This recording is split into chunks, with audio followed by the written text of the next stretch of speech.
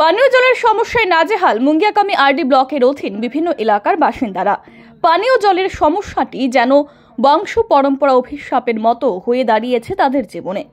DWS দপ্তরের pipeline কিংবা গাড়ি করে শহর থেকে জল আসাই তাদের একমাত্র ভরসা। অথচ সেই গাড়িও আসে না সময় মতো। ফলে দৈনন্দিন জীবনযাপনেও সমস্যায় পড়েছেন গিরিবাসীরা।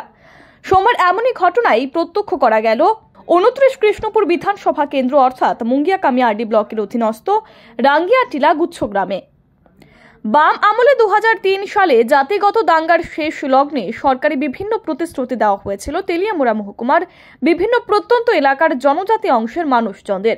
বিশুদ্ধ পানীয় জলের ব্যবস্থা, উন্নত রাস্তাঘাট, শিক্ষা ব্যবস্থা, খাদ্য সামগ্রীর যোগান সহ বিভিন্ন প্রয়োজনীয় ব্যবস্থা হাতের নাগালে পাওয়ার জন্য তৎকালীন সময়ে চাকমাঘাট রাঙ্গিয়া টিলা গুচ্ছগ্রামে পূর্বপুরুষদের ভিটে মাটি ত্যাগ করে এসেছিল প্রায় তিন শতাধিক পরিবার।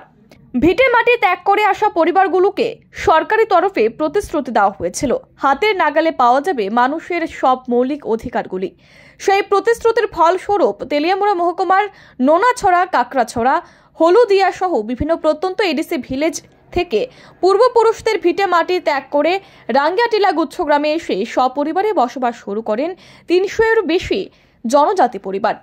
তৎকালীন সময়ে ক্ষমতায় ছিল সিপিআইএম দল। কয়েক মাস পরেই তারা বুঝতে পারেন, সরকারের প্রতিশ্রুতিগুলি আসলে মিথ্যে। কার্যকরী হয়নি কিছুই। আমরা জলে লাগিয়ে দিছি।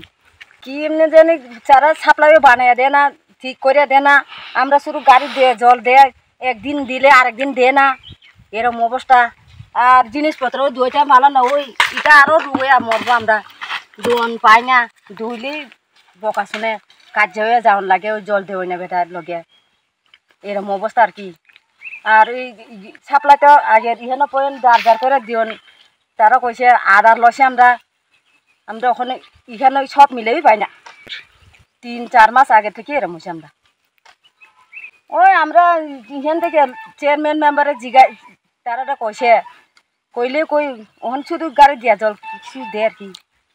একদিন দে আরেকদিন দে না কোনো ঠিক নাই তারা। আমরা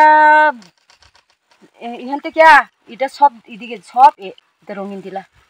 আমরা নাম বিজয় লক্ষ্মী পানীয় জলের সংকট দূরীকরণে নির্বিকার স্থানীয় প্রশাসন, ফলে দীর্ঘদিন ধরে চাপা ক্ষোভের সঞ্চার হয়েছে ওই এলাকায় বসবাসকারী উপজাতি অংশের মানুষজনদের মধ্যে। অবশেষে জলের সমস্যা মেটাতে রাজ্য সরকারের দ্বারস্থ হয়েছেন তারা।